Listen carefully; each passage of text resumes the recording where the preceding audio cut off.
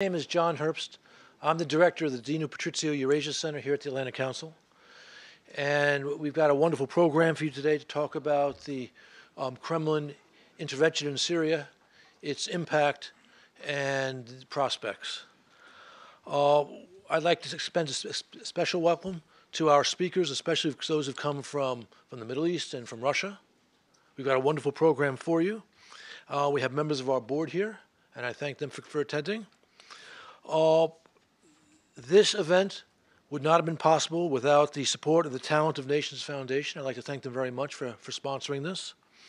For those of you following us online, this event is being live streamed on our website, www.atlanticcouncil.org. And you can join the conversation on Twitter using the hashtag um, AC Russia and the handle ACEurasia. Without any further delay, I'll turn this over to Alina Polyakova, Dr. Polyakova, who will introduce our speakers. Thank you all for coming.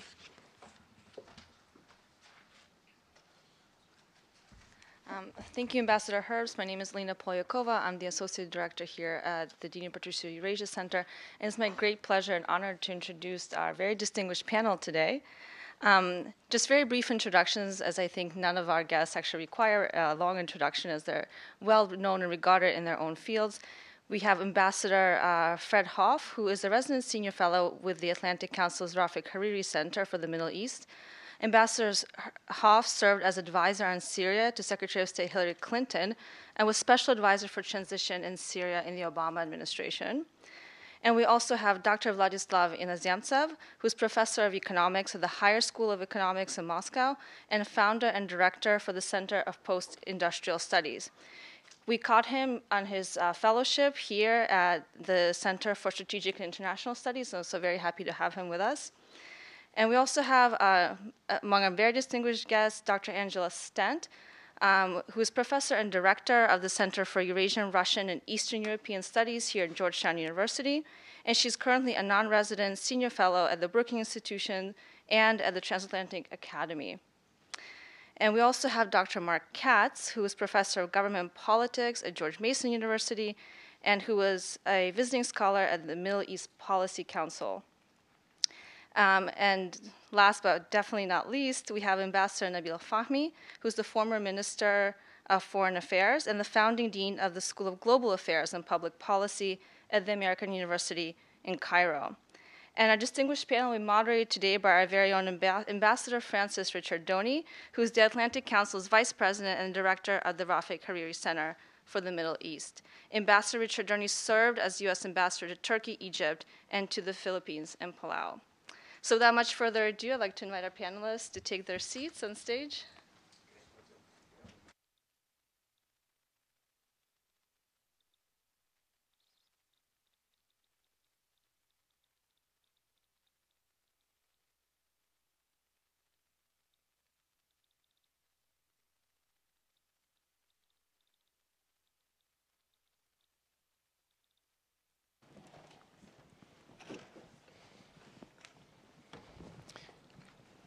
Thank you, uh, John and Alina, for uh, getting us all started today. I'd like to welcome, join in welcoming everyone to the Atlantic Council. We uh, take uh, great pride in bringing voices from the region in, whenever we discuss uh, regional events. We take great pride also in, in being multidisciplinary, cross-disciplinary. In this case, we have the Eurasia Center and the Rafik uh, Hariri Center for the Middle East working together on this uh, fundamentally cross-regional uh, uh, issue and problem today, even as uh, American diplomats and Russian diplomats and Middle Eastern diplomats are all together in New York wrestling with the same problem we'll be discussing here today. Um, so I would like to just go right to our experts to uh, begin speaking. I should note that um, uh, both of our uh, principal uh, discussants here today will be speaking from papers that they'll be presenting um, early in the new year. They'll be publishing, so you're getting a pre-publication taste of what they'll be coming out with. So, Ambassador Hof, if you'd like to begin. Well, thank you, thank you, Frank. This uh, the the paper to which uh, Frank refers that'll be published, I think, in the new year, uh, rests basically on on five assumptions. Uh, number one, that Russia and Iran, for separate but entirely compatible reasons, want to keep Bashar al Assad in power indefinitely for the foreseeable future, at least in part of Syria.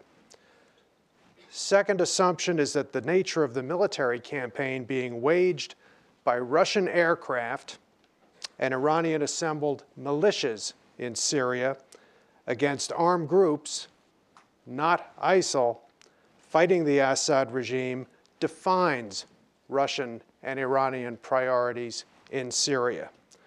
For both, the battle against ISIL seems to be a Potemkin pretext for assembling forces aiming to eliminate alternatives both to Assad and ISIL.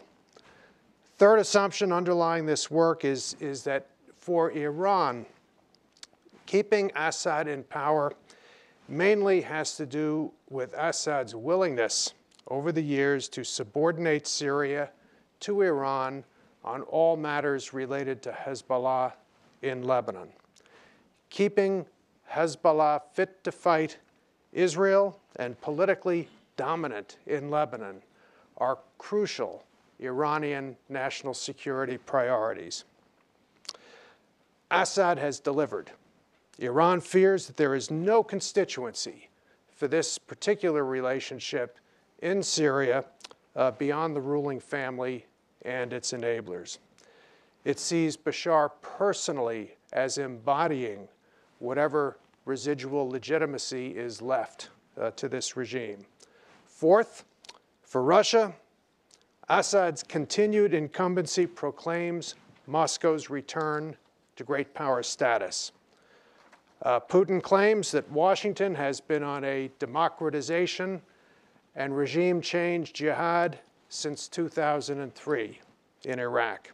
He wants to stop it cold in Syria.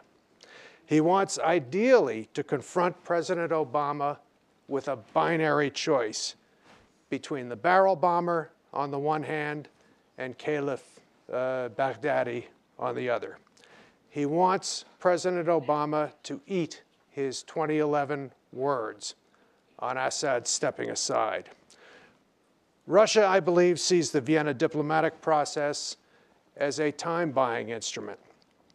Russian military operations in Syria are fully consistent with the goal of forcing binary choice on Washington. Uh, but it'll take time to create the requisite military facts on the ground. An extended process can provide time, although I have strong doubts uh, that Russia militarily will be able to achieve this objective. Now, these assumptions, these five assumptions, might either now or in the fullness of time prove to be absolutely erroneous.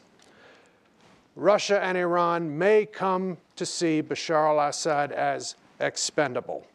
John Kerry may persuade them that a continuing political role for this regime is indeed poisonous to the prospect of a united Syrian front against ISIL. I think they already know this. It's just that their interests lie elsewhere. But this is just my opinion. On the other hand, the Russians may actually think that the Turkmen they're currently pounding in northern Latakia province really are ISIL. Maybe Iran thinks that there is a genuine appetite in Syria for subordination that transcends the Assad family. So, because my assumptions may be wrong, I've tried to devise an alternate Syria strategy for Obama administration consideration that would not, would not be at odds with the current Vienna process. My proposed alternative is based on the assumption is based on an assumption about the kind of Syria President Barack Obama ideally would like to hand off to his successor. Such a Syria, I think, would have the following characteristics. Uh, one, ISIL would be gone. Two, Assad and his entourage would be gone. Three, Syria's territorial integrity would be intact. Four, an inclusive national unity government in Damascus would consolidate stability, protect vulnerable groups, preserve governmental institutions, including the military and qualified staff, pursue accountability and reconciliation, facilitate humanitarian assistance, and begin the processes of reconstruction, reform, and constitutional over overhaul. And finally, in this ideal Syria that uh, Barack Obama would like to hand off, refugee return and reintegration would be underway. Now, bringing about these five characteristics, uh, or at least making significant progress in achieving them, would form the objective. The strategy I'd like to think about would involve three elements. One, defeating ISIL militarily in eastern Syria, ideally before another Paris like incident. This would require a ground combat component powerful enough to close with and kill the enemy. Ideally, this component would be drawn largely from regional states. At present, the appetite is not there. It would have to be stimulated by a sustained and heavy American diplomatic lift. It would have to include American skin in the game. It would have to feature sustained American leadership for the duration. The second element of the proposed strategy would center on protecting Syrian civilians from the mass casualty atrocities of the Assad regime. Doing so would deprive ISIL of a recruiting tool, fulfill a practical precondition for productive negotiations and political compromise, and mitigate the premier humanitarian abomination of our time. Diplomacy first. Urge Russia and Iran to take their client out of this filthy business. This, I would hope, would be the focus of today's meeting in New York, although I doubt it will be so. But if the Russians and Iranians can't do it or won't do it, limited military countermeasures would be justified to make it somewhere between hard and impossible for the Assad regime to continue to kill people at wholesale rates. Uh, my preferred methodology would involve standoff systems such as cruise missiles and would avoid anything that has the word zone attached to it. Uh, third and finally, giving the Syrian opposition an opportunity with financial and technical support to establish decent and effective governance in areas liberated from ISIL. If the Assad regime chooses at Vienna to negotiate, it will have an interlocutor. If it continues with collective punishment and mass homicide, it would face a non ISIL alternative capable ultimately of replacing it, albeit sometime during the term of Mr. Obama's successor. Now, none of this, none of it would be easy. All of it would be very problematical. Options have narrowed over the years from bad to worse. But if the objective of the Obama administration is to hand to its successor the kind of Syria I described, it cannot, in my view, rely on the good intentions of Russia's president and Iran's supreme leader it cannot leave Syrian civilians defenseless. And it certainly can't wait for an ISIL planned mass slaughter operation in the United States to defeat these people in Syria. At the very least, the administration should, should bequeath to its successor a Syria in which ISIL is gone, Syrian civilians are protected from regime atrocities, and a decent alternative to the regime itself is taking root in areas liberated from ISIL and expanding into rebel controlled areas of northwest and southwest Syria. Uh, an authority that can build an all Syrian national stabilization force that could, if need be, eventually oust the regime that made ISIL possible in the first place. a regime whose continued existence sustains ISIL. If my assumptions about Russia and Iran are wrong, they would oppose none of this. Indeed, if my assumptions were wrong, uh, they will promote the inclusive Syrian government they signed up for at Vienna and will send their client packing forthwith. Thanks. Dr. Inozemtsev, what about those assumptions that uh, Fred Hof has laid out there? Oh, uh, thank you so much. Uh, first of all, thank you so much for inviting me here. Uh, my uh, task was uh, much easier than Mr. Hof's because I was asked to speak about the causes and the aims of the Russian uh, actions in Syria. So I will sum up my presentation in several points, and then maybe I will comment if I have time uh, for what I have heard just before. So um, if one looks on uh, major drivers of Russian actions in Syria, some of them were mentioned already. So first of all, it's of course the chance for Mr. Putin to confront the United States and to confront the United States policies of intervention, which he opposed for many years so far, beginning from uh, the operations in uh, Iraq and then uh, e even before Mr. Putin came to power, it was uh, the Russian opposition to the operations of the Western powers in uh, Yugoslavia, then in Iraq, in Libya, and so forth. So uh, here, Mr. Putin definitely sees the possibility to stop the American intervention and the American involvement and to counter it. So this is, I think, the first rationale behind these actions. The second one, uh, I would say that Russia, for long, ceased to be um, a global power, a superpower. Uh, and uh, all the actions in Eastern and Central Europe and in Ukraine in the last months, uh, they are also making, uh, putting at risk the Russia's position as even the regional power. I think Mr. Putin wants to, by intervening in Syria uh, and claiming Russia is once again a global power, just to draw attention to, to his homeland as to the regional player. Of course, actions in Syria are not the global actions and uh, the actions of superpower in the Soviet sense, but nevertheless, it's uh, some kind of claim for uh, renewed regional status. So it's just uh, calling for take me seriously once again. And the next point, of course, is that uh, using the possibility that the Western countries are definitely challenged by the terrorist threat, Mr. Putin wants to uh, make, uh, to find some common ground with uh, both the United States and Europe uh, on the anti-terrorist or counter-terrorist agenda and to find out some grounds to restore uh, the troubled relationship between Russia and the United States and in the West in general, which are in very bad shape after Ukrainian conflict.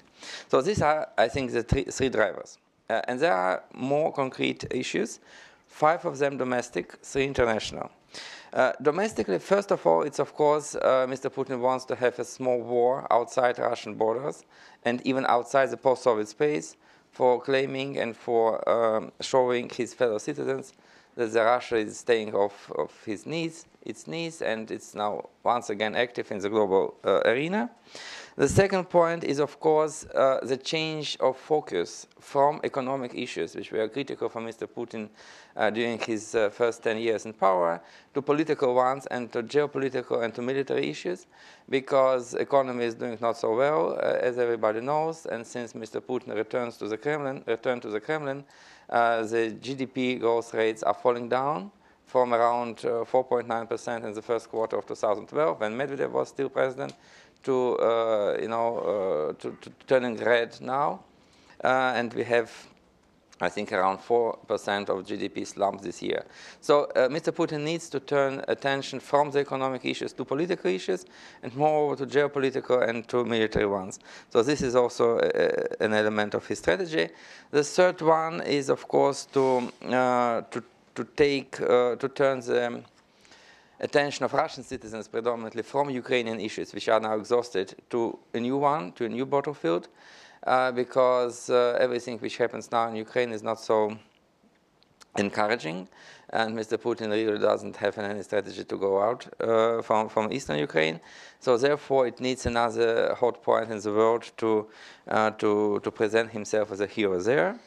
Uh, and two latest issues is, uh, first of all, uh, during several years, uh, the military in, the, in Russia were not in very good shape because, first of all, they were humiliated uh, during the Serdyukov tenure as a minister of defense, and then uh, they were involved in Ukrainian military operations, uh, you know, hiddenly. It, it was not uh, publicly uh, announced that Russia is involved in Ukraine. It was, you know, some kind of hidden operation, and therefore now they have the possibility for the first time in many years to, to act openly, to test their new uh, military capabilities, and so to protect, we'll say so, uh, in this way, to protect the Russia outside. So this is also to please uh, uh the military and the military-industrial complex, which is quite important.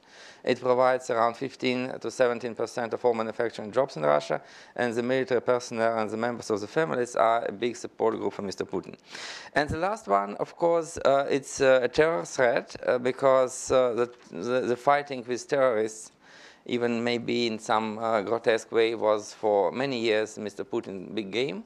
Uh, and now, by uh, you know taking once again this issue of anti-terrorist fight, Mr. Putin wants to capitalize on, on, on this issue. Three uh, reasons for uh, on international uh, international scale is of course the relationship with Iran because Iran was for many years a good friend of Russia and an ally for, for Russia in the Middle East.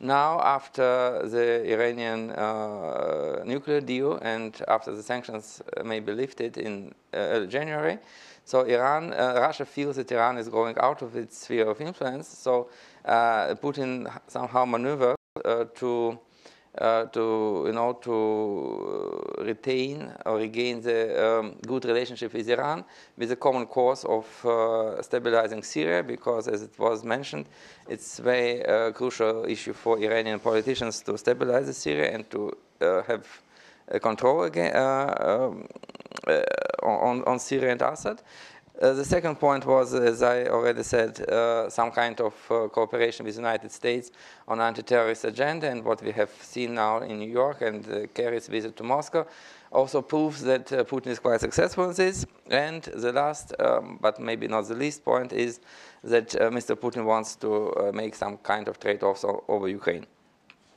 What will happen next? I will finish with this. Uh, I think that the Russians will uh, definitely try to stabilize the situation and to keep Assad in power for whatever long they can. Uh, I can admit that they will launch a ground operation, uh, maybe not very extensive one, but they will, because they want to show up as a leader of anti-terrorist coalition. So they, I think they can send the troops to the ground fight. Uh, and of course, uh, I, I, would say that uh, I don't trust the Russian leadership in some kind of decent negotiation with the West. Uh, they have you have different agendas, so I cannot see any uh, fruitful compromise to, to, to be reached. Uh, the very last remark about the American strategy, because it was mentioned today, I would say that I doubt that someone can achieve a victory over the Islamic State there. I really doubt that we can speak for, uh, in future about a united and uh, you know sovereign Syria. I think uh, the best way to do uh, the job is actually to uh, make a partitioning of the state because it's really unviable for, for, for the years to come. Maybe Mr. Assad can, can continue his rule in a very small part of the country, uh, but I completely, I'm completely sure that he will never succeed in in uh, in defeating uh, ISIS um, or ISIL in coming years. Uh, I, I, think that if Mr. Mr. Putin wants to do this, let, let, let him let him try. It will be a good experience for the Russians. Uh, and uh, if you want to have a very uh, necessary and very good ally on the ground, uh, we should openly speak about the possibility of independent Kurdish state in the place. So I think that Syria is gone, uh, the military victory is unachievable, and uh, the strong coalition with Russia is also out of question. Thank you. I see a um, painful overlap in your validation of the assumptions, particularly struck by uh, your point, Vladislav, that you don't see a common purpose between mm-hmm. what Russia is about and what Secretary Kerry is about, for example, in New York. That is a um, very sobering thought. So if we're back in the zero-sum game days, uh, part of the reason we, we were going to split today's uh, program into this first panel talk about how we got here, with the idea that the second panel would be where we go from here. But there's, in fact, substantial uh, overlap, and I, I, don't know if we want to have the two presenters refine anything before we go to the other uh, commentators on this, or then in that case, Professor Stent. Well, thank you very much, and thank you for inviting me here. I enjoyed reading both papers very much, and I really don't disagree with anything uh, that you said, Slava. Um, I'm going to just confine my remarks to Russia uh, and Russian goals, um, and just maybe reinforce some of the things you said, but you're not going to get any good news from me either. Um, so I think just to reinforce what you said, uh, that Russia has multiple goals in its uh, uh campaign uh, today in Syria, and some, but not all, are actually related to Syria itself. Um, so I wanted to just say a few more words about the broader context that you know both of you have already alluded to.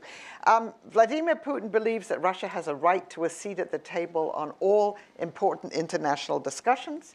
He believes that the United States has tried to deny him this right for the past 25 years. Um, and so he wants to show that he is back and to insist that the US and its allies recognize that Russia's interests here are as legitimate, uh, if not more legitimate, than the West's uh, goals. So he's really forced the United States to deal with him, um, really, since this began after the US and its allies for 18 months have tried to isolate Russia uh, because of what's happened in Ukraine. And I think he's been quite successful in that because right now he's the sort of go-to man uh, if you want to get something done on Syria, as we saw uh, with Secretary Kerry's visit uh, to Moscow a few days ago. Now, I think a second context here is that Putin does believe that not only that Russia has a right to a sphere of influence in the post-Soviet space, and he's been trying to get the West to recognize this. He talks about the need for a new Yalta and things like that. But I think he by now believes that Russia has a right also to establish, to reestablish its influence in areas beyond Russia, particularly the Middle East, where the Soviet Union had quite a lot of influence, and of course where Russia lost this after the collapse of the Soviet Union. Um, and we see this, I see this as a broader uh, strategy of Russia to recoup its influence in the Middle East. Um, if you look at the last six months, we've had the leaders of Egypt, Saudi Arabia, Jordan, Ku Kuwait, uh, the United Arab Republic, and um, Israel visit Moscow. Saudi Arabia, at least on paper, uh, promised a $10 billion investment in Russia, uh, which would be mainly in the agricultural sector. Um, we were talking about this uh, with Mark Katz beforehand. That may well not happen. If it did happen, it would be the largest single investment uh, in Russia. And given the history of Russia's relations with Saudi Arabia, that is in itself a very interesting uh, data point, if you like. And then, of course, the new element in Russian policy in this part of the world since the Soviet collapse has been this burgeoning uh, Russian-Israeli relationship um, and the fact that from Israel's point of view, uh, Bashar Assad may not be uh, their desired leader, but he's certainly from their point of view better than what might come after him in terms of Israel's own security. So this really is Russia wanting uh, the West to recognize that it has a right uh, uh, to reestablish its, its influence in this part of the world. Um, I also agree with Slava that a lot of this is about domestic politics in Russia. Um, I won't go into this, um, but obviously you have, as you point out, a, a, failing economy, low oil prices, I mean, they keep going down, under $40 a barrel now, economic stringency, and therefore it's very important to keep burnishing this enemy image um, of the West, of, of, the United States, and now it's Islamic State.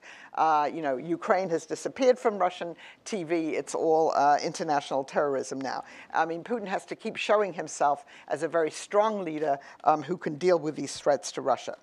Um, and I think there's a basic paradox that you see here at the moment because the United States continues to be demonized um, in, in Russian media. And if you listen to some of the statements made of officials, uh, we had Mr. Naryshkin a couple of days ago saying it was time to abolish NATO when he was speaking in Serbia. So, so you've got the enemy image of the United States, but you also have now uh, the public face, and Mr. Putin again saying in his press conference, very interesting press conference uh, yesterday, that yes, Russia and the US, the two big powers, should join together and lead uh, this coalition against Islamic State, and it's going to be like uh, the anti-Hitler um, alliance uh, uh, during World War II. Um, and um, then you really have to ask yourself, is there some kind of a cognitive dissonance uh, between these two approaches to, to dealing with the United States? Um, just a couple of comments on the Russian view of President Assad, and this has already been said. Um, from, from Putin's point of view, the support for Assad you know, has to do with Russia's own goals in Syria, but it also has to do with this very neuralgic issue of regime change.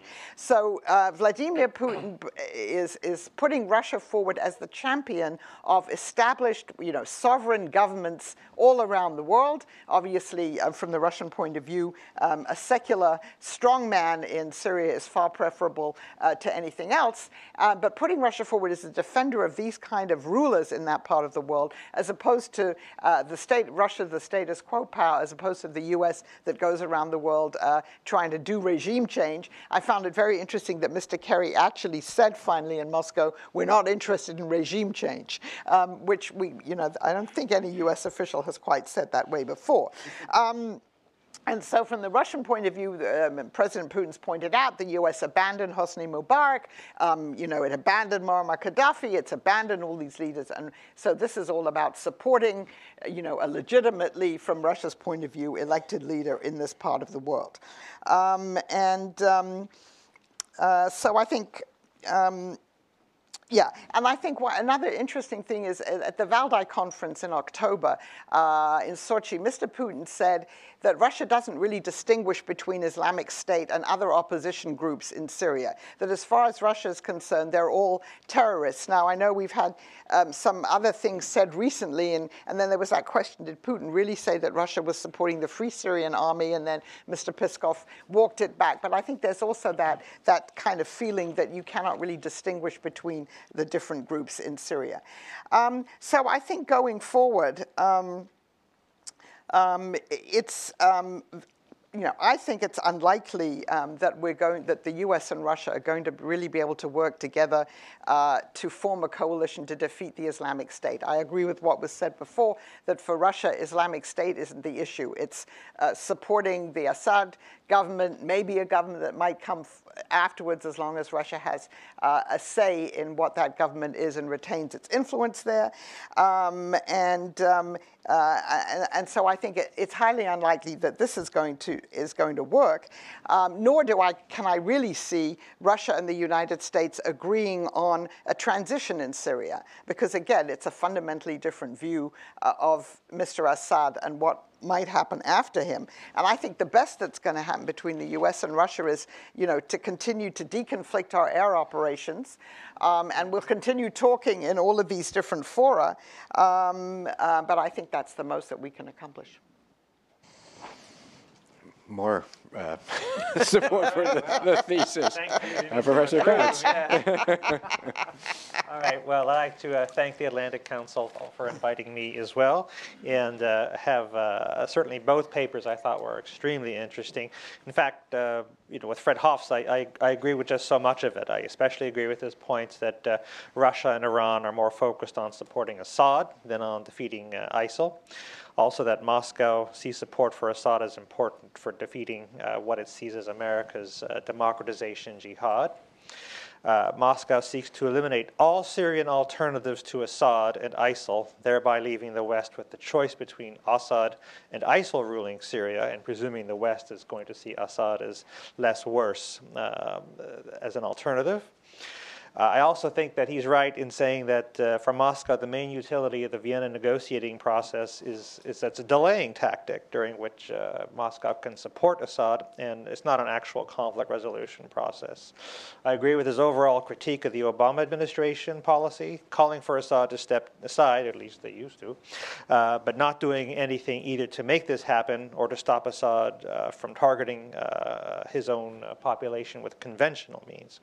I do disagree with Hof on, on one point. uh, he argues that it's necessary to defeat ISIL in Syria in order to prevent further attacks, uh, such as the recent one in Paris. It seems to me that even if ISIL uh, was completely eliminated in Syria, such attacks could still occur.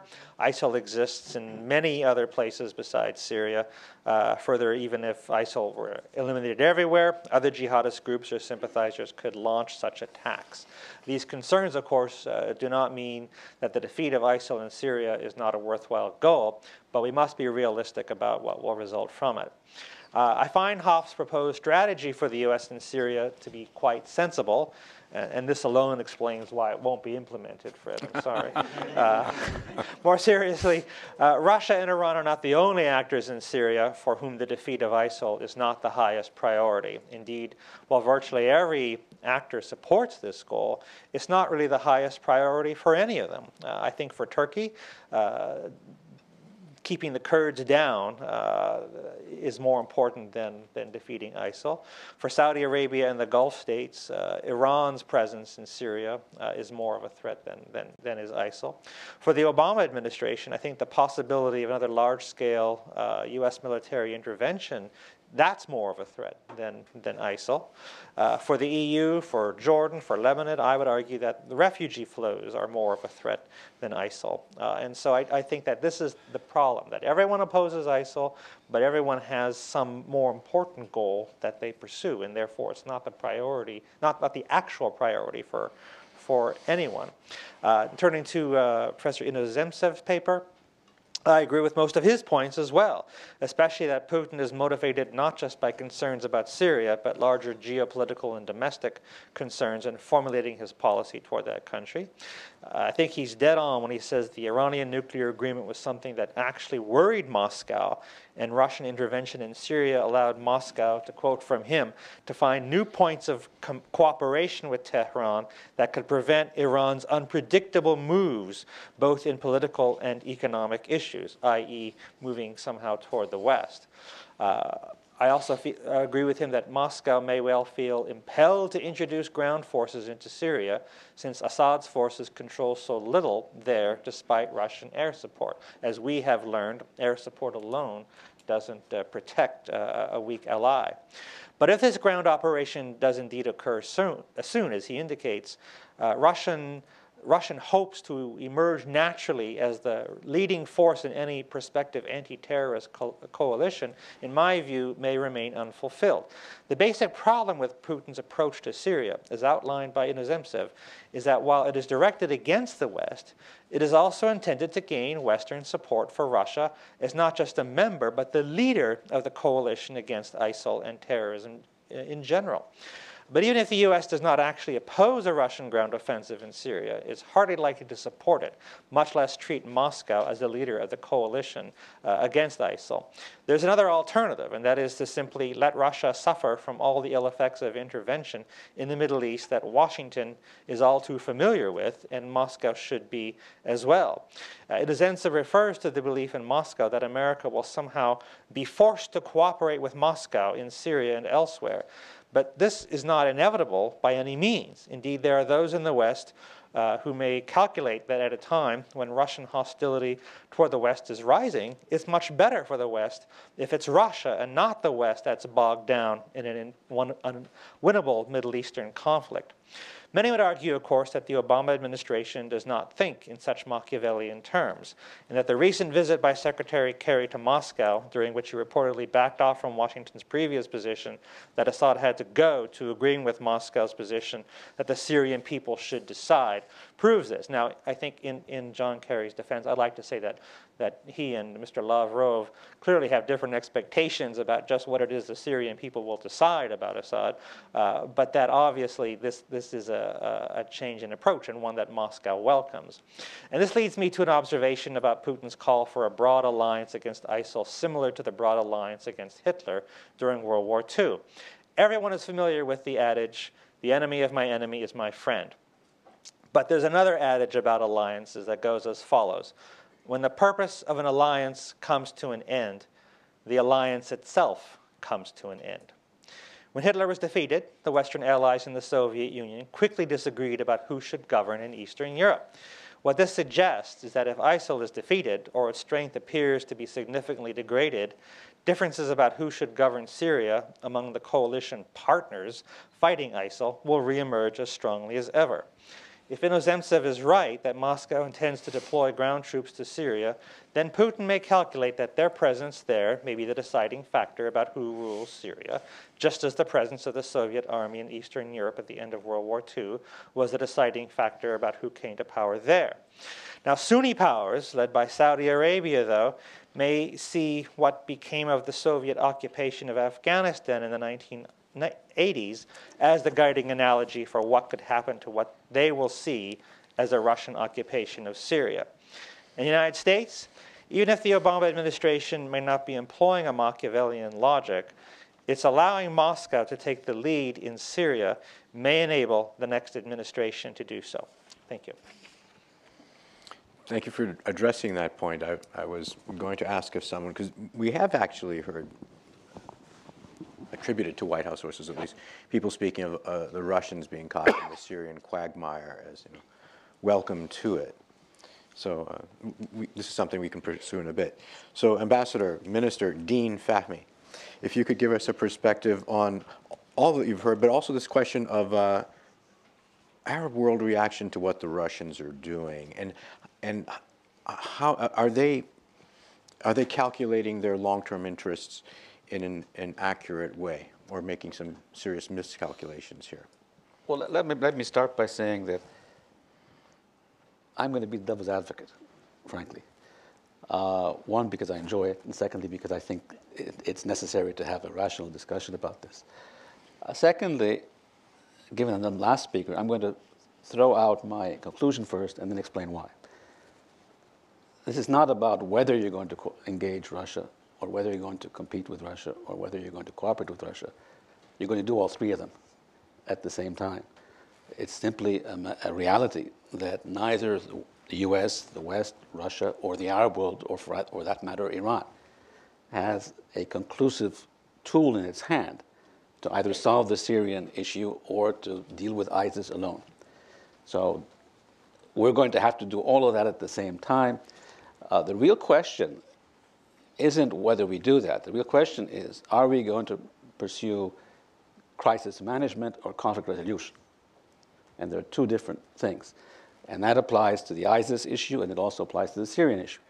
Uh, depending on whether we decide we want to limit the damage rather than solve the problem, there's a level of cooperation that we can actually achieve without pushing that. Uh, on the other hand, if you're trying to resolve the problem, then there's going to have to be a grand bargain, uh, not only between the US and Russia, but also among regional players, because they will all have to make serious compromises that are strategic rather than tactical. Uh, let me go back a little bit and try to address this Russian issue. But just before saying that, I'm always sort of provoked by sort of my non-aligned background, which goes a long way back. Many people here don't remember that. Uh, by people telling me, who has the right to intervene in my region? So, I mean, the, what seems to be provoking people here is does Russia have the right? Well, who gave you the right? But I need you, and I need the Russians. So it's not a matter of whether we need, whether, whether you'll be there or not. I'm going to invite you, as I will invite the Russians, to come and help us address these issues because, frankly, I can't solve them alone. You can't solve them alone either, by the way. Because if and as was said by the speakers here, does anybody really believe you can deal with ISIS without ground forces? Who's going to put them? Will the Americans, will the Russians, will the Arabs alone, will the Iranians, will anybody put them alone? So we're going to have to find a way to work together. The issue is how much we do this and how much not. But let me go back to the Russian issue. I went, uh, when I was foreign minister with, at the time, Field Marshal Sisi, to Russia, and we met President Putin. Spent an hour with him. 45 minutes, he spoke about extremism and the threats to, uh, to, to, Russia from extremists. And we went through the whole package of, of extremists. 10 minutes, Western arrogance, which is both personal and political. A few minutes on geopolitics. And then, of course, we spent a little bit of time, I mean, in, in at least uh, Egyptian terms, an hour is more than 60 minutes. So it's, uh, we spent some time on, on Egypt, Russia per se. I actually believe, and it doesn't contradict what's been said or what's in the papers here, but it complements that. I think those are the reasons driving him. I think he is serious about being concerned about extremism. There's no question that he is angry about uh, how he's perceived that his country has been treated by the West, and that he has geopolitical interests. That's no question either. There's a, clearly, he has those interests. Um, my question to all of you, frankly, is can you do it without the Russians? Since you can't, then it's how you do it with the Russians rather than whether you give the Russians a role or not give them a role. And nobody here is, I, looking at the age bracket here, very few would be naive, frankly. Uh, nobody here believes that any of us pursue policies without an interest. So we obviously have an agenda, obviously have an interest. But the positive side that I see in all this is we all know we cannot do it alone. So there'll be a point in time where we will have to start engaging the others, and probably we'll, there will be setbacks where we move away. Uh, I am, from my contacts with the Russians over the last year, they know very clearly that their military operations are not sustainable long term, that they need to move from that phase to a political phase. And I would argue also, I don't think that the Vienna talks uh, took us to a new level. But there's no question that the intervention by the Russians created a sense of urgency, be it that the West got scared that they're going to play their role again, or on the ground that all the parties came together for the first time, the regional parties as well, and came to Vienna. Uh, it created a sense of urgency that this issue has to be dealt with. So, in that respect, I actually find the intervention as a tool not the policy. The intervention as a tool, I see it tactically as having had a reasonably positive effect. Now, is it is the policy right depends on what we do after the intervention. In other words, if this ends up being different parties simply using force without a policy paradigm that we work on to try to solve the ISIS issue or the, the Syrian issue, then you're going to have a lot of different forces on the ground, and it's going to be very, very dangerous for all of us. Uh, and therefore, the result would be this is much more negative than positive. But if it causes uh, all the different parties, be that, as I think Henry Kissinger said recently, that the Russians have been out of the Middle East, or at least most of the Middle East, since after the 73 war, and now they're back. Well, they're back. And they're back for a reason. Nobody else was there, and there were a lot of problems. Uh, but as a Middle Easterner, frankly, I will engage the West as much as I can to help solve what's happening in the, in the Middle East, and I will engage the Russians equally so to help solve that.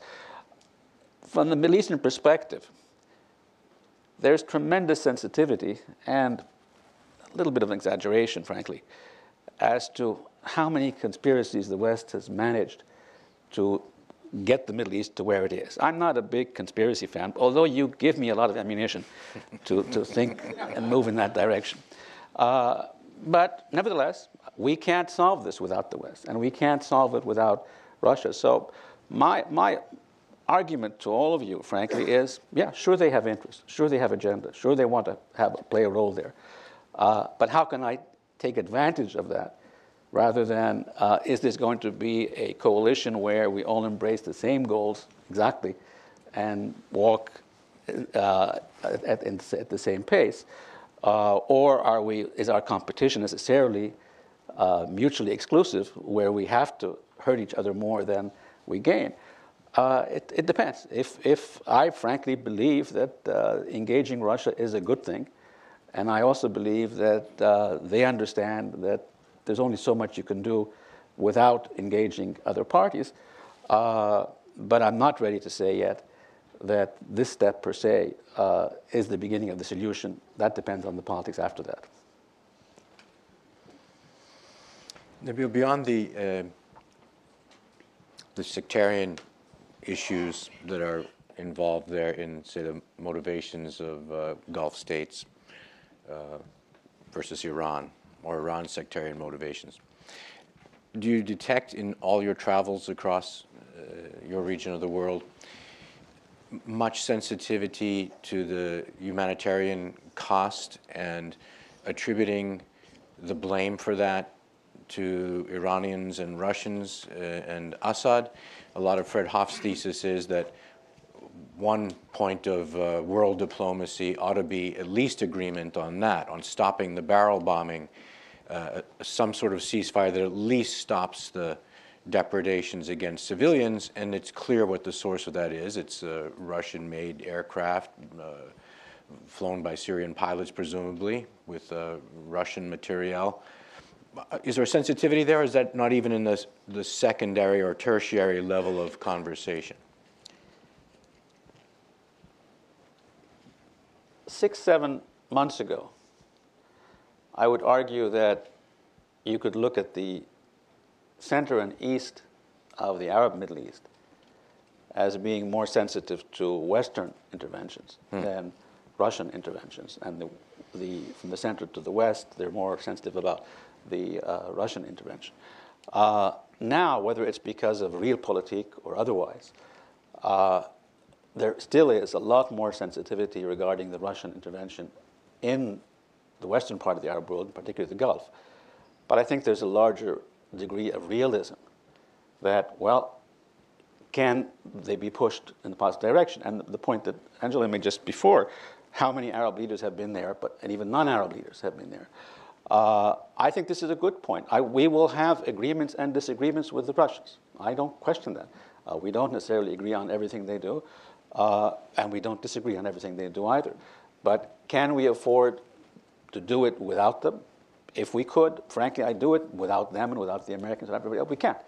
So, uh, and I actually believe that while they may have policies that we differ with, they are rational people pursuing those policies.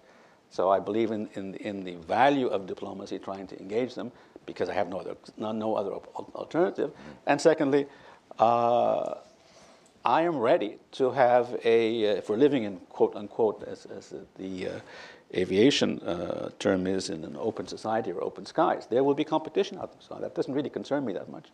But the point that I think as a Middle Easterner, we have to emphasize much more is that the debate shouldn't be about whether it is, an, whether it affects Western interests or whether the Western involvement affects Russian interests. But it really should be focused first, not exclusively, but first on does this help solve the problems of the region? That's really my point of departure. And part of that leads me to come to conclusions uh, that are completely realpolitik. Do I think we can? Uh, I mean, if, if there was a clear solution to how we move from where we are in the, in the tragedies in Syria to a new Syria, we'd do it, but there is no clear solution. And even if you drew it up, and I can draw up a couple of formulas, uh, the process of getting there is very complicated. And one of the issues that have been raised, uh, well, how long, first of all, does or does he not, and then how long, if he does, Bashar stay into the process is one of the questions. Uh, clearly, you're negotiating about a new Syria. It shouldn't be the reinvention of the old Syria. But to get there, I can't simply talk to my friends. I have to talk to the other parties on the ground.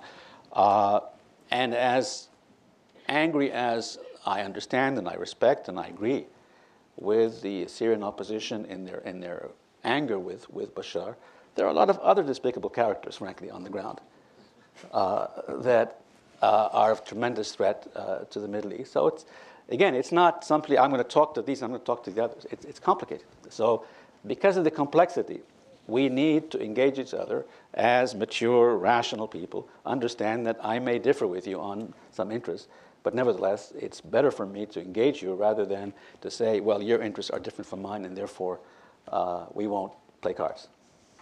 Okay.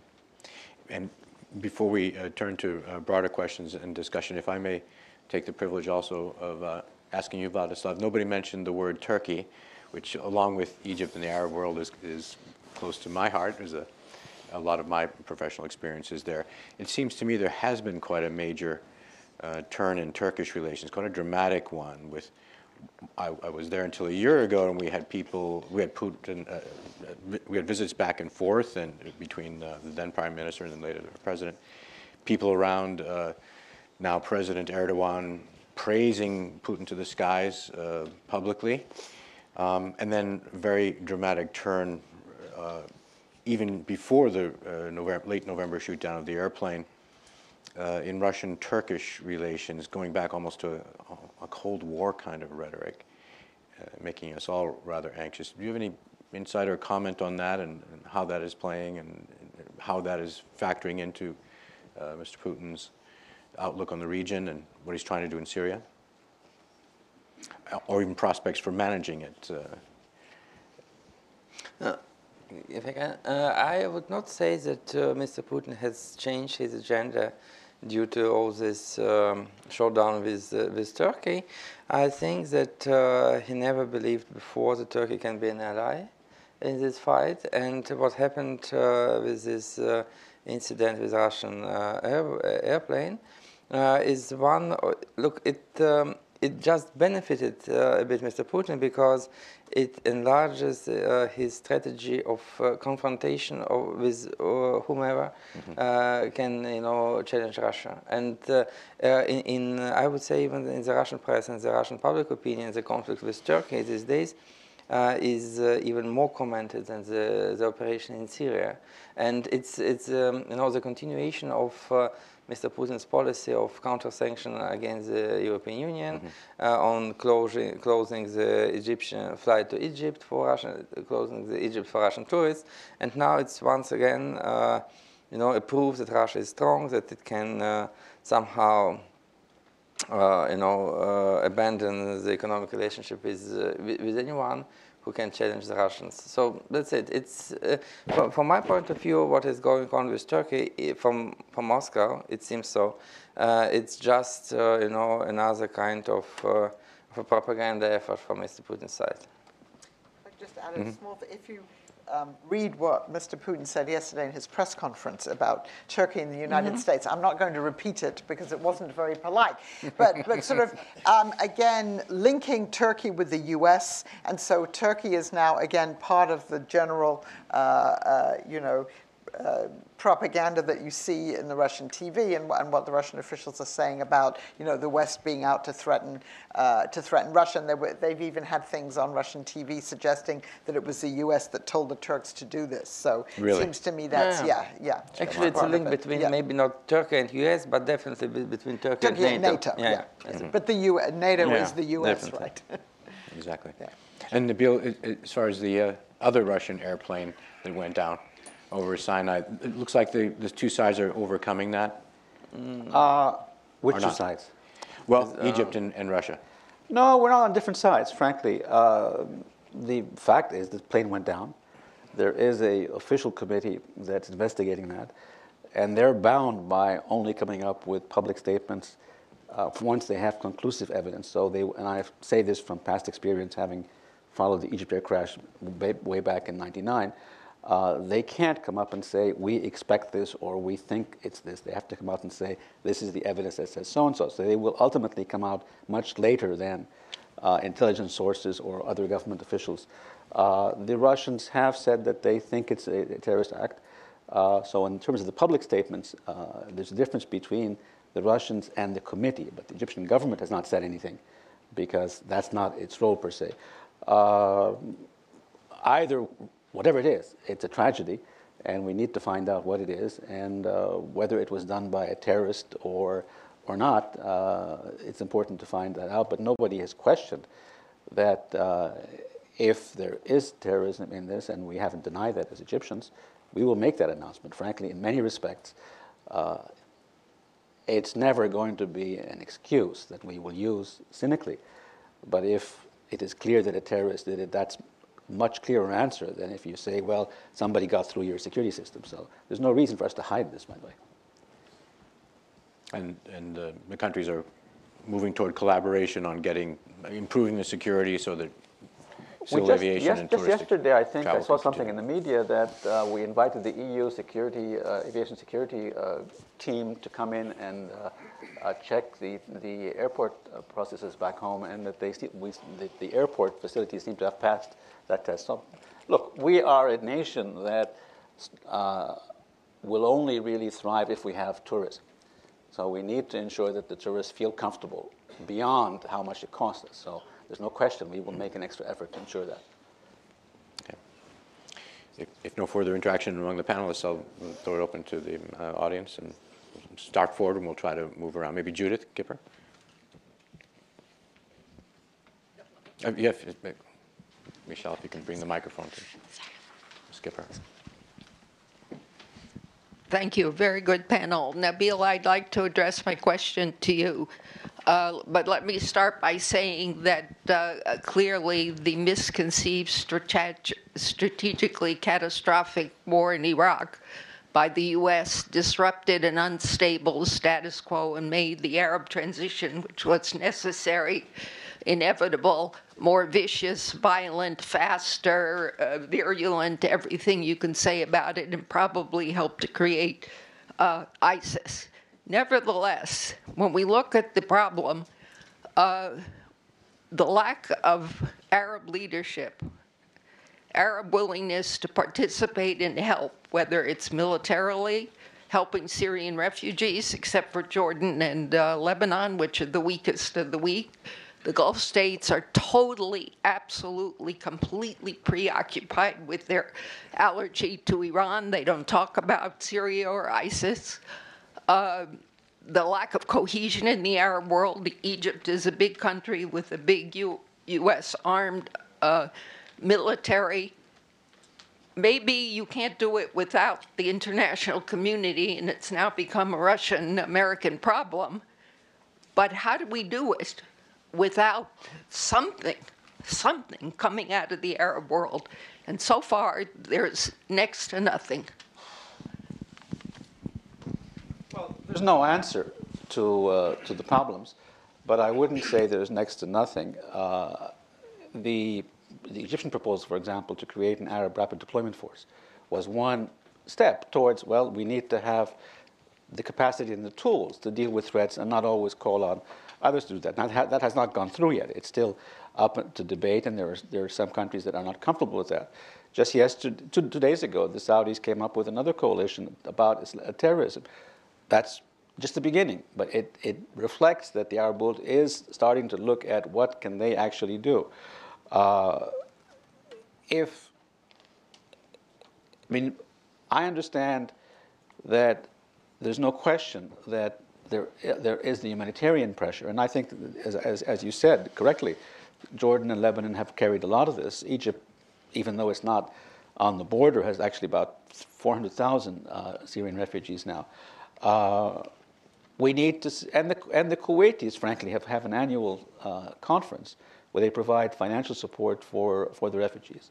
Uh, is this going to be solved completely alone by the Arab world? No.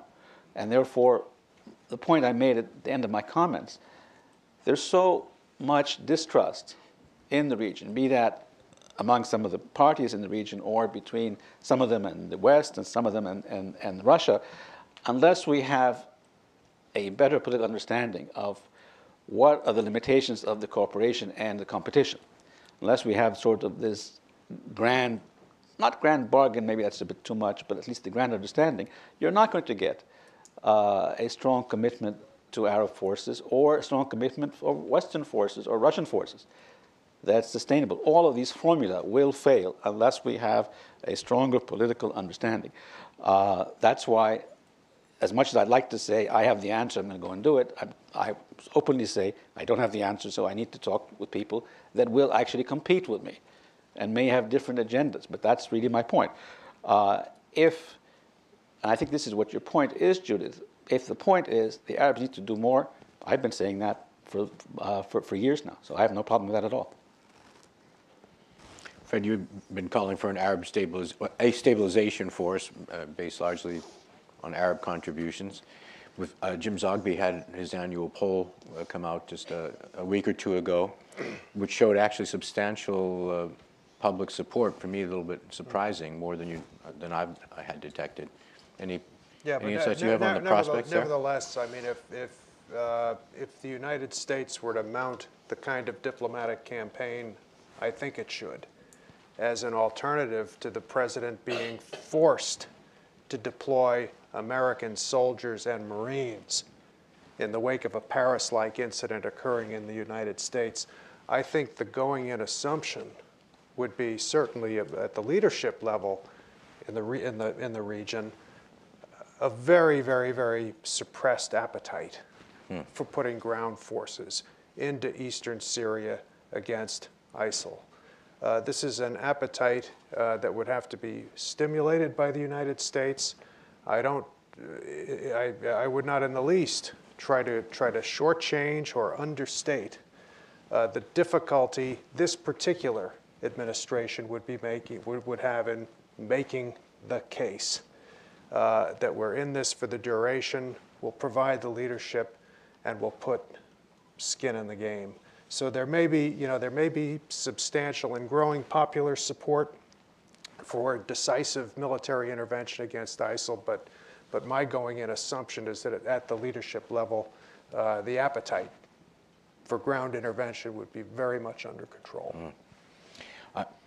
Dr. Rubai, you don't have your hand up, and you're going to be part of the next panel, but for an Eastern Arab perspective, any, any comments on either this issue or any other of the ones we've, we've got to hear? You want to save it for your, the next, next panel? Okay. Let me uh, jump uh, over to this side, and then, uh, sir, with your hand up. And back, and we'll come around. David Colton um, from the Ijiwara Group. My question to the Did you panel. say again, from? Uh, Ijiwara Group. Uh, my question to the panel is to hone down on the question of, quote unquote, the Russian offensive. Let's be very candid. The Russian offensive has been a flop to date.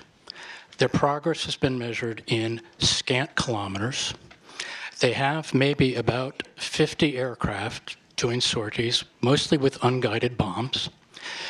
And if we recall, under the Soviet Union, there were 8,000 troops stationed in Syria at the time. If you look at the current tooth to tail ratio of the, the Russian military, which is about 7 to 1, 6 to 1, and you, you actually work through the military requirements to maintain a sustained operation, I put to the panel Putin can't do it. More importantly, the Iranians have taken enormous casualties, not just among senior generals, but at the second lieutenant level. And if the panel may know, the Iranians are talking about it on state TV. And there are reports that the Iranian troops are actually pulling out, meaning that the Russians themselves are going to have to add more ground pounders. And I put out to you how much of what we're seeing with Putin is the same kind of bluff he tried to daunt with Ukraine. He has tried to get away with a lot on cheap. And I throw to the panel out when push comes to shove, how much can he really do? Anyone wish to respond to that? Look, it's a very good. Com- It's, I think it's a very, very good question. Uh, I agree that uh, for hoping uh, to achieve some uh, credible results, you should uh, impose much more and should deploy much more forces there. Uh, actually, I would say that economically and financially, it's not a big problem for Russia to, uh, to send their ground troops uh, to Syria, because now the operation looks like quite cheap uh, compared to overall Russian military expenditures. Uh, whether they will do this or not, I, my personal position is that they actually will try to do this in some foreseeable future. Mr. Shoigu, who is now Minister of Defense, uh, said uh, on the Collegium of the Minister of Defense two days ago that we will go as far as to Euphrates. So I, I think that uh, it may happen. Uh, and of course, uh, I know that the Iranians are suffering a lot of casualties and the Russians are studying the question. But um, the logic of the operation as, as it unfolds uh, asks uh, Mr. Putin to, to intervene on the ground. So this is my point. Of course, they will not succeed. And this was my point. No one can succeed in fighting Islamic State uh, at this uh, point except of the local forces, uh, which I think they are Kurds. Uh, if, if the West and the Russians want to, to, to, go further with this, they should have a good alliance with Kurds. They should promise Kurds the independent states there on the, some lands which the Kurds can secure from the uh, uh influence of uh, Islamic State, and this ca can help. No, no, neither Iranians, nor Russians, nor Americans will succeed in ground operations. But my point was that the Russians will, as I believe, will try to start it. Uh, how, how it goes further, I don't know. But isn't the point that several of you had made earlier, including Fred, that the Russians are not trying to succeed against ISIS, really? As Professor Stent also has yeah, said. Yeah, but look, uh, even the point is suppressing all yeah, the opposition. But, but e even they are, uh, even they engage in ground operation against, for example, the so-called moderate opposition, they will somehow confront ISIS, and it, it will be some, some clash with this.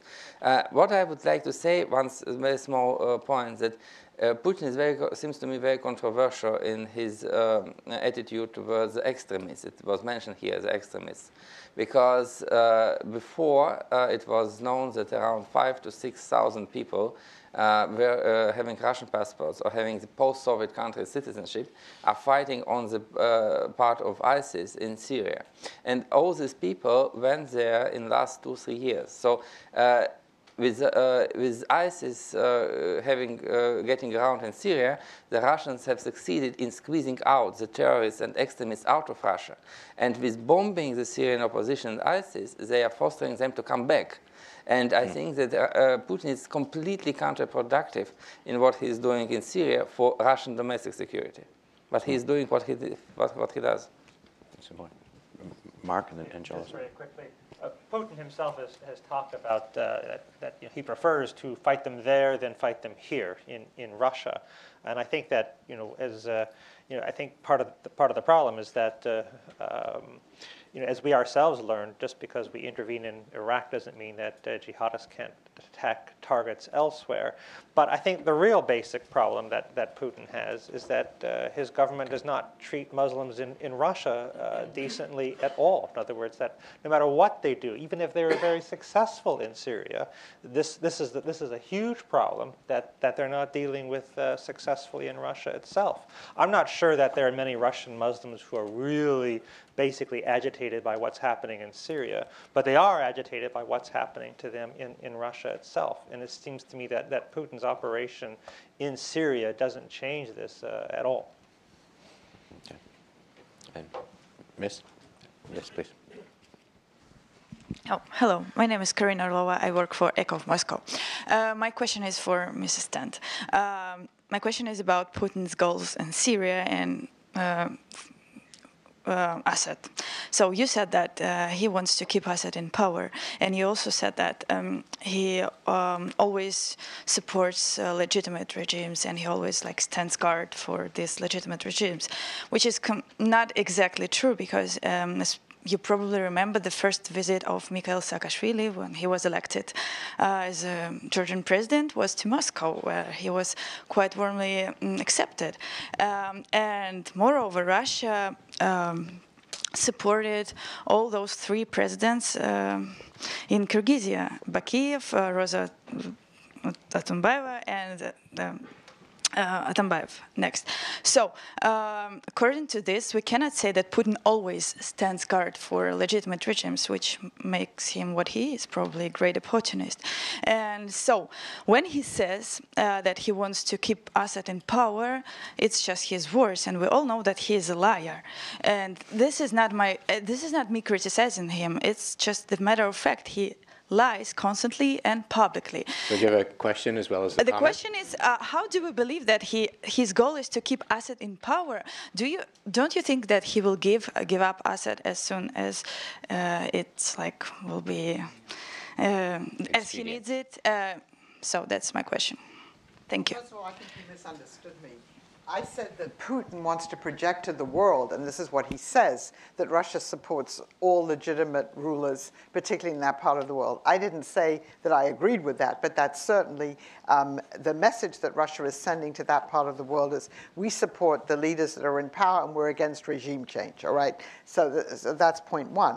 No, I and I, I also said, and maybe I didn't make that clear, I think for the moment, Russia does want to shore up Assad. And going back to the previous question, um, uh, you know, the, the, whether the Ru- Russian operation has been successful so far or not. It's been successful in as much as Russia intervened because it was very concerned in the summer that it looked as if, uh, you know, the Assad forces were weakened and that there might really be, uh, you know, that the, the government there might be in danger. And so for now, right, Assad seems to be stronger and the Russians have achieved limited goals. That doesn't mean if at some point they think it's in their interest to support another leader, again, as long as they have a say in who that leader is and they can be reassured that their influence in Syria uh, will last, it's not tied to the man. And Mr. Lavrov has himself said that, that they're not necessarily tied to President Assad. But for the moment, that's where they are. And I think in these talks in Vienna, that certainly is their starting position. Yeah, honestly, I haven't detected from any of the panelists any suggestion that Russian calculations are anything but hard-nosed and based on power and, and interest. Right. Nothing emotional about the Well, I think it was pointed out in one of the papers. That's right. There's no love lost. It's just that, Sure. you know, at the moment, this is the government that's in power. Not a matter of principle, right there. Yeah. Did you? Okay. There's a gentleman who's had his arm up. Uh, I'm afraid it's going to cause pain. Uh, Bill Jones from Executive Intelligence Review. Given that uh, there, most of the speakers were singing from the same song sheet, or maybe beating on the same drum, I might say, uh, I want to ask a contrarian question. One is with uh, um, uh, Professor Hof or Ambassador Hof's uh, presentation. There was so- something of a fallacy of composition in talking about what the Russians and Iranians have to do in order to come to this solution if you see the Russians and Iranians um, uh, connected at the hip, I think that's a very big mistake uh, because they both have their own interests, they have uh, common interests, and they have different interests. And the only way that we can deal with this situation, with Russia especially, where we have a much broader spectrum of interests and issues that have to be dealt with, trying to see them together, I think, would be the biggest mistake in, in dealing with this problem. Uh, secondly, I'd just like to say the question is uh, how much uh, Putin's actions are actually proactive. That is, we have to go into Syria to uh, assert our uh, great power uh, aspirations, and how much was reactive. Remember what was happening in Syria right before that uh, was that. Um, that the U.S. was considering having a no-fly zone, which of course would have put that conflict in a much different context. We would be on the way towards regime change by setting up an area which was under our protection. Uh, and I think Putin, if is seeing this, made the Russian moves in order to counter that. And if you see that that way, that was really a brilliant move on his part to throw a monkey wrench into what was going to be a very dangerous development in Syria. With regard to his proposals of working together, I remember when he came to Kennebunkport, because I was up there at the time, and talked with Bush after 9-11. He said, let's work together to deal with this terrorism problem. And Bush said, yes, we'll do that. But everything that happened after that, and I think my microphone is going out, everything that happened after that was uh, expansion of NATO. Uh, uh, there was the uh, the missile defense. We didn't follow up on that at all, and I think that was the biggest mistake in the world. So that there is a certain sense from Russia that they have put out the hand of friendship a long time ago, Putin personally, and has been rejected all along. And when they're doing it again, if we try and take If I the attitude ask of we refuse, get it right down to a I question think it's a mistake. Those we're the gonna- two questions I'd like to throw on the table. Did you pick on something you can Yeah, respond to? uh, Yeah, uh, I think, you know, when my, when my paper's published, you'll, you'll see a little bit, a little bit more nuance in the question of the, uh, of the Russian-Iranian relationship in all of this. Uh, They do come at this from an entirely separate set of interests. Uh, Where they come together, at least for the time being, at least for the foreseeable future, is in the, uh, is in the perpetuation of Bashar al-Assad in power in Syria. Now, I'm, and this, this touches a bit on uh, Nabil's point as well. I am absolutely in favor of engaging the Russians on the question of Syria. Uh, this, is, this is one thing, I think, for all of the, the shortfalls in American policy over the past few years, uh, this is really probably not an area where we can be criticized. Uh, for most of 2003, John Kerry chased Sergei Lavrov. And when he finally caught him, he got a peace conference in uh, Geneva that was an utter fiasco. Uh, we're chasing again. We've got, a, we've got a Vienna process that we can all hope and pray succeeds. What I would like to see, Uh, and I do think we're, we're very much in the crisis management mode. I agree entirely with Nabil that nobody, nobody has the silver bullet that's going to solve this problem. We're in a crisis management. And I think the one thing that is absolutely essential for the United States, Russia, and Iran to agree upon is that attacks, mass casualty attacks on civilian populations are inadmissible under international law and must stop now. And I must say, even if, even if, even if the fact that we're in the middle of the, the premier humanitarian abomination of our time, even if this means nothing to individuals, how, how in the world, how in the world is this Vienna process going to get anywhere with civilians on the bullseye? Okay? How, how, how does an opposition delegation come to the table and deal in the, in the spirit of, of goodwill and compromise and political arrangements while its constituency is being blown away on a daily basis? How do we fight ISIL when this, when this marvelous recruiting tool provided by the Assad regime remains in effect? I mean, this is why I think this issue between the United States, Iran, and Russia really needs to be addressed up front.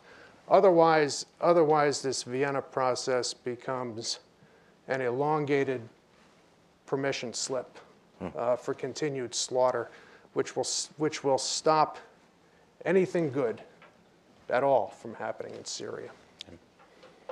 A lady here a comment.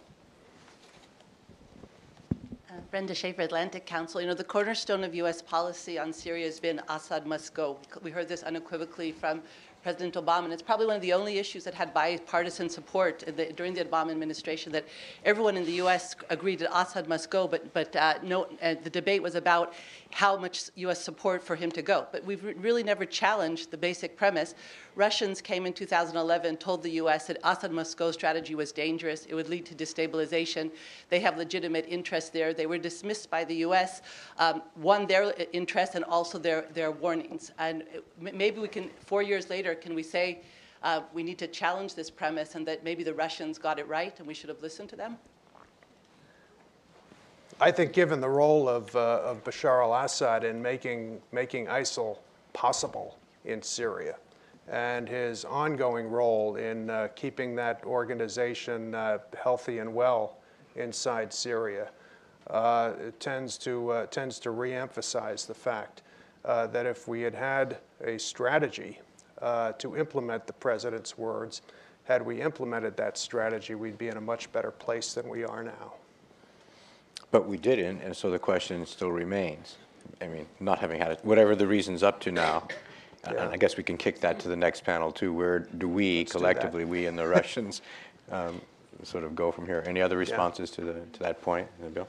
Could I just, Mark? could I just add, you know, I think you, you raised, you know, Brenda, a, a very good point. And I think fr- from the, from the Russian point of view, what they saw is that the Syrian problem could be resolved the way Chechnya was resolved. In other words, that the, the, the regime forces come in, essentially just demolish the Islamist opposition and establish, you know, an authoritarian peace, and that, that the same thing could be possible in Syria. It occurred in Algeria.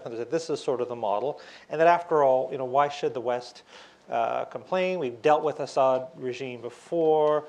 What was the difference between what Assad was doing and what uh, the Algerians did, or what they, uh, or, or even quite frankly, uh, in, in the view of, of, what, what Sisi did in Egypt. In other words, they, they see it as sort of as sort of similar. But I think that what, what Fred's indicated is that. Uh, unfortunately, the continuation of the Assad regime um, is not a recipe for stability. It is a cause of instability, and I think that's that's the trouble: is that there's no, there is no uh, bringing stability about. And I have a feeling that that what we're going to see in Syria is what everyone doesn't want, and that is like Iraq, it's just going to be a de facto split up. Only it might actually be more complicated in Syria than, than it is in Iraq. But you'll have little fiefdoms, an Alawite area, we'll have a Kurdish area, maybe a Druze area, a Sunni Arab area. ISIL will have its area, and that'll have all these little, and, and, and maybe neighboring states will have their little areas of influence as well. Uh, that that's what we're going to actually see, even though that's not what anyone actually wants. Frank, if I can just jump in on this. Um, I think the issue of whether Assad goes or not, and when he goes for that matter, of course, has been a very sensitive issue, and it will continue to be a very sensitive issue. And if you keep asking the question, you won't get an answer. Unless, unless we clarify what happens after. So my suggestion is to do some reverse engineering. In other words, how do we ensure that Syria remains Syria, irrespective of who the Syrians decide to be president? I'm not addressing that, that issue per se. And the reason I say this is if you, if you develop the formula or the guarantees for what will be the day after, you actually factor in what are the interests of the regional states, what are the interests of the states outside of the region. So that makes addressing the question of, okay, who is the president, something where it's a bit more rational than if you simply say, well, okay, he must go or he must not go, but nobody knows what's going to happen the day after. And I can tell you, because I've done this for a long time, hundreds of scenarios of what would or would not happen, and they're all conflicting with each other, at least a large number of them. So uh, it is a question, and it's going to be a sensitive one, and it will always be a problem until it's answered. But I think you can get closer to the answer if you try to develop the structures for Syria for the new Syria, and then work back to, okay, he will actually be the president, and how do we choose that president? This reference to the morning after will resonate painfully with uh, Dr. Muwaffaq Rabai and myself when we tried to deal with the same issue with respect to Saddam Hussein, Saddam must go, uh, and the thesis of the United States work with the Iraqi democratic opposition to Saddam Hussein was to construct this idea of the morning after. What would it look like? What would the future look like? I don't regret that. But in, in fact, I think it was our failure to actually succeed in, in having a clearer vision of how Shiites and Kurds and Sunnis and Christians and all the rest would, would hold that out. Um, the, hmm. Exactly, it was. Anyway, we've got just a couple of minutes. Why don't we see if we can put together uh, whatever questions are there, and then any panelists who would like to sum up, we can do that. I can. Uh, let me take the farthest back hand that I can see, gentlemen. Again, you're, you're, yeah, you, your, yours is the last hand I can see in the back, and I'll work forward. Your name, please, and organization, if any. Yanal from Turkish Heritage Organization. There is a mentioning about the imprecise bombing in Syria that's going on by the Russians.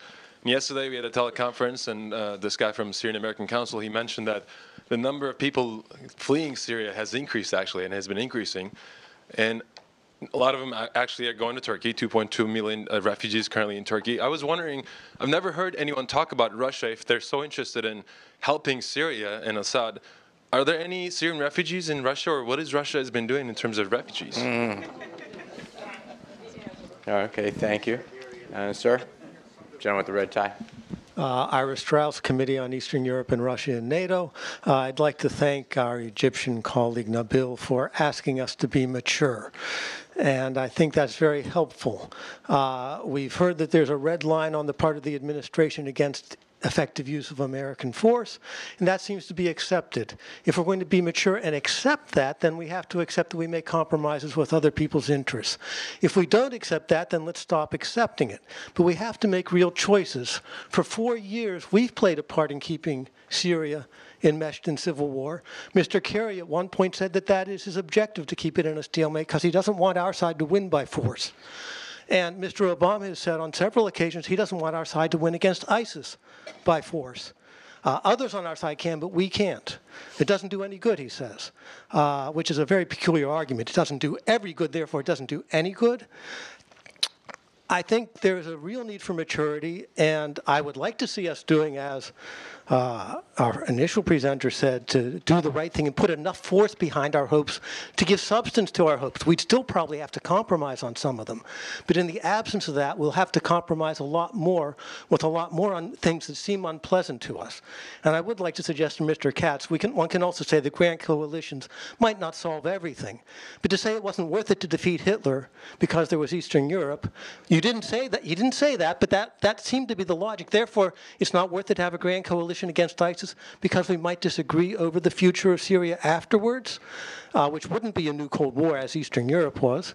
Uh, so I think Mr. one has Straus, to re thank you. rethink that kind of statement. Got it. Okay, thanks. Thank you very much. Maybe uh, one more comment only, and then I think we're going to have to close. And so one more gentleman here with the white shirt. Hi, my name is Dimitri. Thank you very much. Very interesting. My question is: You said that uh, you believe that the Middle East can't do it without the West and without Russia. Do you think the general population supports that idea, or there's people that just want the West and Russia to get out? And do you do you think uh, Islamist extremism has increased over the last 10, 20 years, or they just have more avenues and resources at their disposal? More general uh, comments on use of force and questions on popular opinion. People like to sum up and respond to any of these? Maybe starting from the bill Okay, working sure. this way? I'll, I'll just sum up by answering that question. Yeah. I don't want to repeat what I said before. Uh, I generally believe that the educated public understands that they can't, that in our, in our world, cannot solve it alone, and therefore engaging both the Russians and the West, America and, and, and NATO and Europe and all that, is the only realistic way out because, frankly, uh, there is no support for the Arab world alone taking all the risk, nor is there a sense that they can actually succeed if they, if they do that. So I think that, that exists there. The emotional public dislikes the Russians and the Americans equally, uh, although Americans win a little bit on that. Uh, but that's not really where my concern is. My concern is where, who are the activists, who are the serious people who want to engage this, and I would argue uh, the rational thinking is we need to do this uh, together, really. Yeah, if I could just address the point about the uh, the Grand Coalition, uh, I, I, think that you know, that, uh, that the trouble is that there are certain patterns that we see in international relations. It's not a question of what wants what what wants to happen or or not. And the fact of the matter is that the Grand Coalition against Hitler did not lead to a Grand Coalition going forward. That once the purpose of the alliance came to an end the alliance came to an end. And I think that we have to expect something similar here. And I think especially with, with Putin's call for this grand alliance in particular, you know, he works against the West uh, in Ukraine in particular in 2014, 2015, and then just simply turn around, oh no, we're going to now, you know, can we be allies together in Syria? I have a feeling that, that that won't be the end of the story. As soon as he can pivot again, he will, he will do so. I think the lady from Echo Moskvy understands the nature of Mr. Putin. Uh, and so I think that, that that's, you know, we have to be very realistic. Yes, we're all against, uh, against ISIL, but if, it, if it's defeated, uh, we're not going to be agreeing on what should be uh, continuing in, in Syria at all. Angela? I'll maybe just take off from that and go back to the question of what the Russians expected in 2001. First of all, the language about the anti-Hitler coalition was also used in 2001. So we should ask, why did it work in 2001 when Mr. Putin went to Crawford uh, and, and uh, met with Mr. Bush and, you know, the, you know, the relationship really seemed to be on the uptick then? That was because the Russians were very helpful to the United States in that initial phase in the fall of 2001 in the war in Afghanistan because we agreed on who the enemy was. It was quite clear there wasn't a difference there. And, and it was in Russia Russia's interest to have the US and its allies go in there and take care of a problem that had obviously plagued Russia and Russia's neighbors itself. Um, we're not in the condition today, and there's, and we, of course, we should try and work with the Russians. Um, but to have a successful coalition like this, we'd have to agree on who the enemy is, and I think the panel has shown that we don't agree on who the enemy is, except by saying, you know, in general, it's Islamic State, but we have very different definitions, and we don't have the trust, which in a way we did have even in that brief window in 2001, because of everything that's happened in recent years, particularly with what's happened in Ukraine and where the Russians have failed to say, you know, what they're really doing there. So that is why yes, we can try, but the conditions, for instance, that made cooperation in counterterrorism cooperation in 2001 possible are not there now. Okay, I, I will just uh, react a little bit on, on the question about the uh, Putin-Bush connection and uh, the possibility of cooperating between US and Russia. Uh, yes, I agree that uh, it were some prerequisites for such cooperation in the early 2000s, but then um, you mentioned the uh, missile treaty and NATO expansion and all other things. I think they are they have been exhausted since then, since then. and now I we can, of course, try to reestablish some of these connections, but I think it's too late. And Mr. Putin is now on a completely different course than he was uh, 15 years ago. So I, I cannot uh, see any uh, productive coalition uh, uh, under such circumstances as today. And uh, the question about the Syrian refugees in Russia, there are not so many of them. I, I would say there are very few. Uh, and uh, you said about uh, Russia is claiming to help Syria. No, it is helping. It's claiming to help Assad. Assad is not Syria, and therefore Russia simply doesn't care about Syrian refugees because uh, uh, Moscow is helping uh, just Assad, not Syria. Okay. Concluding comment. Yeah, just just a couple of comments. I, I would say, you know, first of all, if a if a coalition of truly professional military forces uh, in sufficient numbers uh, cannot defeat ISIL in eastern Syria, what has this world come to? Do we think, do we think local indigenous forces are going to be able to, to do the job if, uh, if professionals cannot do it? There was an interesting article uh, in the Washington Post the other day, uh, I believe by Liz Sly, not 100% sure, about the effects of sustained Russian bombing uh, in northern Syria, uh, not far from the Turkish border. How this is obstructing rather decisively uh, the inflow of humanitarian assistance uh, to needy Syrians at particularly the worst time of the year with the onset, uh, onset of winter. Uh, this, is, this is horrific. Uh, I think discussions, you know, about the future of Assad, about uh, the, the composition of the opposition delegation, these are all obviously very, very interesting discussions. But to the extent that they dominate this Vienna process to the effect that the protection of Syrian civilians is excluded from the discussion. It is excluded from American, Russian, American, Iranian diplomacy. Uh, this process, I'm sad to say, would, would go nowhere. One would hope and think, uh, logically even, that it ought to be a, a focus everybody could agree on. Um, I'd like to thank everybody. We're only a couple of minutes over. We need to reconvene very, very promptly at 11:20, and we'll see you all in 15 minutes. Thank you very much to the panelists for coming.